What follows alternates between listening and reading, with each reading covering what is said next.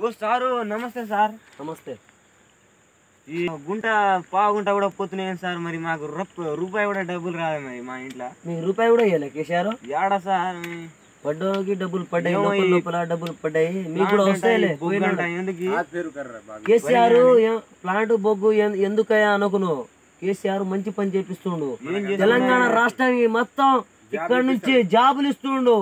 మనిషికి ఊకడాయంతో సహా పైన మొత్తానికి జాబ్ ఇస్తుండు కేసీఆర్కి తిట్టొద్దు ఏం చేయొద్దు.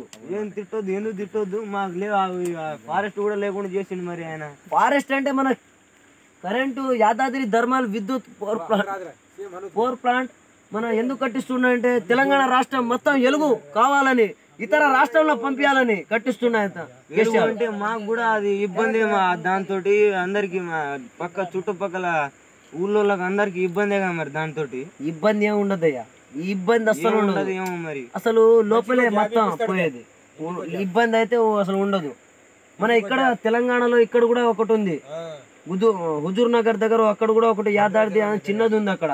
ఇక్కడ కొంచెం పెద్దది మన ఏరే ఏరే రాష్ట్రానికి ట్రాన్స్ఫర్ చేయాలని కరెంటు కట్టిస్తున్నాం ఇంతే. అది కూడా చిన్నది కట్టిస్తే ఏంది మరి ఇది? అంత భూమి తీసుకొని అంత మాకు లేకుండా దేనికి ఇది? మాకు కూడా స్థలాలు లేకుండా. చిన్నదంటే మన తెలంగాణ రాష్ట్రానికి అసలు ఏరే దేశం కరెంటు వాడాలంటే మనం ఏరే దేశం నుంచి కరెంట్ తెస్తున్నాం కానీ మన మన దేశం నుంచి కరెంట్ ఏరే సప్లై అయిపోవట్లే అందుకే మనం పెద్దది కట్టి సప్లై పోవాలని కేసీఆర్ ప్లాన్.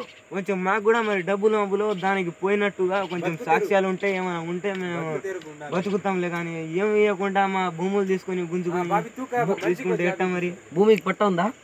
పట్ట ఉందా? రిజిస్టర్ ఉందా? పట్టా ఉంటేనే తీసుకుంటారా? మీరు సర్వే చేసుకోపోయారు అప్పుడు. సర్వే చేస్తామయ్యా మేము సర్వే చేసినాం కదా. మేము సర్వే చేసినాం. మీ డబ్బులు వచ్చింది కదా. సగం మందికి వచ్చింది కదా మీ ఊరు మీ భూమి చుట్టూ. నాకైతే రూపాయి రాలేదు సార్. మీరు ఏం చేస్తారు ఏమో మరి. ఏమి ఏమిటికి అసలు ఇది? దేనిగా కేసీఆర్ ముక్కోడు ఏమి చేస్తున్నాడు ఇది? అసలు పనికిరాని మొత్తం. కేసీఆర్ చేసిన ప్లాన్ అంటే మీకు డబ్బులు వస్తాయి. మీకు డబ్బులు అంటే చుట్టుపక్కల రాలేదా? అక్కడ డబ్బులు వాళ్ళకి? అయ్యా మీకు భూమి పోయిన వాళ్ళకి పక్క ఇంటికి ఒక జాబ్ ఇప్పిస్తాం మేము. జాబ్ తీసుకొని ఏం తీస్తాం మా పిల్లలు లేరు మా ఏం లేరు మీ ఇద్దరం నేను నా భార్యనే ఏముంది దాంట్లో మీరు చదవకపోయినా మేము ఇంటికి ఒక జాబ్ ఇప్పిస్తాం లోపల. అసలు ఊకడానికి గేట్ వాచ్మెన్ అయినా మేము జాబ్ ఇప్పిస్తాం. మాకేం పని చేత కాదు అది ఉన్న ప- పావుగంట కూడా గుంజుకుర్రు. ఏం ఈ పండించడానికి కూడా ఏం లేదు మరి. ఆహా, ఒక్క నిమిషం. హలో?